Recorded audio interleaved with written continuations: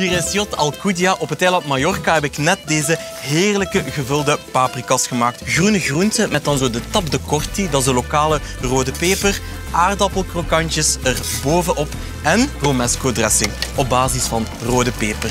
Zalig receptje om zelf te maken. Je vindt het op avico.nl.